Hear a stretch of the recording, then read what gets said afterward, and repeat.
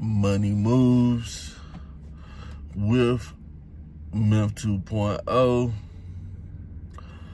the podcast. And always remember, gentlemen, it's a motherfucking movie. So, today we're going to jump straight into the topic.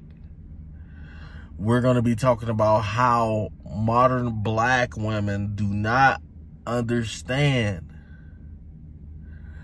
how to be in a functional relationship with black American black man.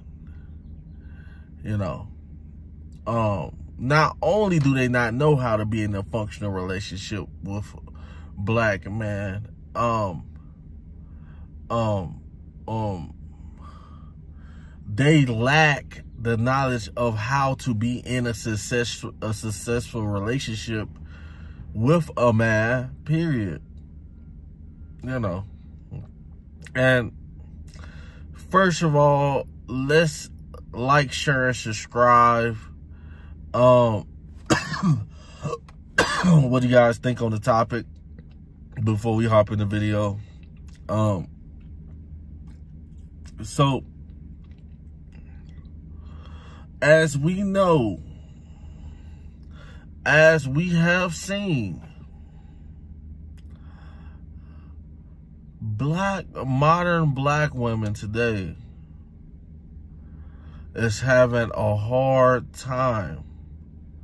You know, they act like they're not having a hard time. They be like single life, single, single, happy, uh, uh, uh, uh, I'm single, you know what I'm saying? Single, single, single.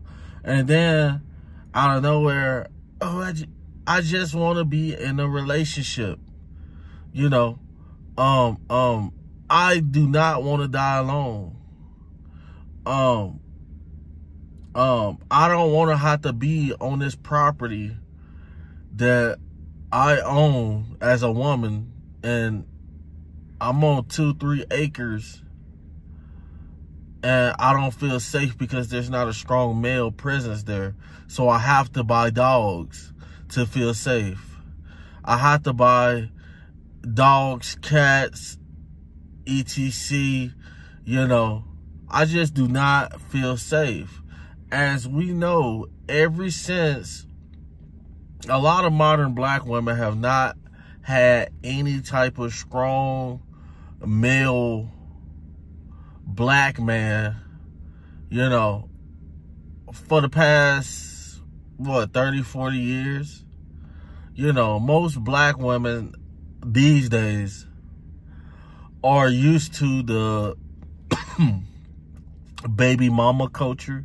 I don't know why. I don't know how they picked that up. The baby, the baby mama culture is so stupid. You know, I remember Project Pat. It's just my baby daddy. That's just my baby mama. You know what I'm saying? The baby daddy, baby mama culture.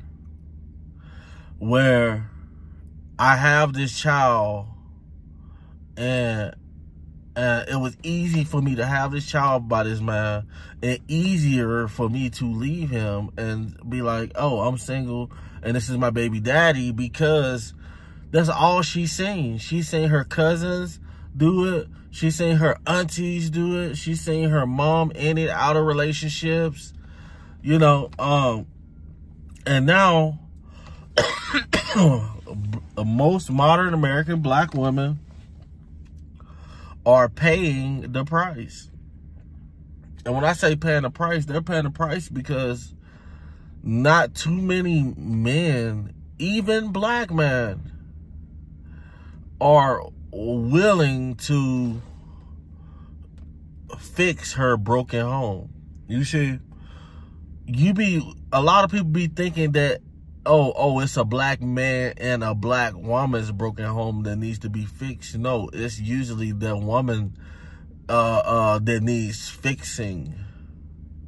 You know, it's usually the woman who is arguing, throwing all your all your clothes to the streets, yelling at the top of her lungs, being disrespectful, um, um, it, it's, it's, it's usually the woman's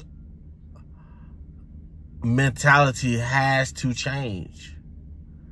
You know, and a lot of guys are not willing to, you know, try to fix something that is genetically broken. You know, where if her if you look at her mom's track record, like we gotta really get to know these chicks.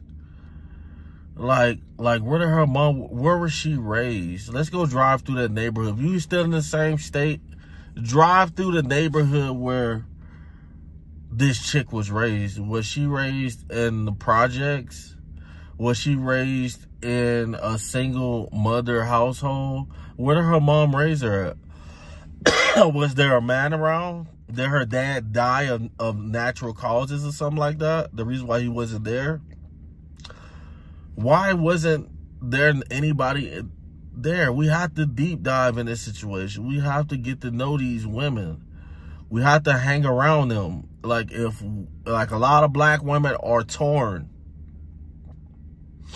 And now they got this prostitution culture of, you know, of trying to get as much as possible out of every man that they can.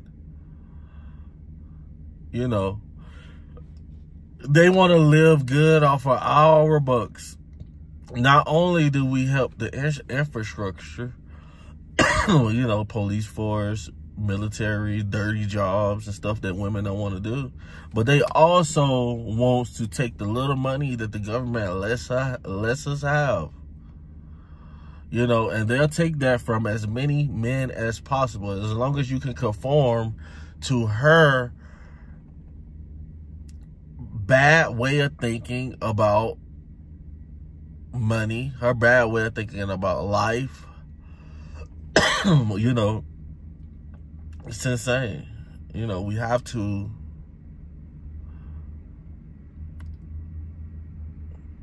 stay focused you know, um, um, a lot of people don't understand.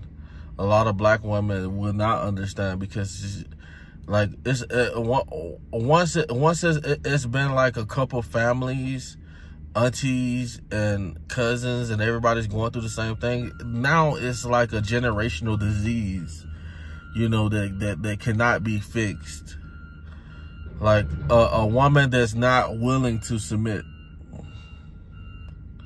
You know, a woman, a woman that's not willing to submit and not to uh, ready to adhere to a man's and, and, don't understand a man.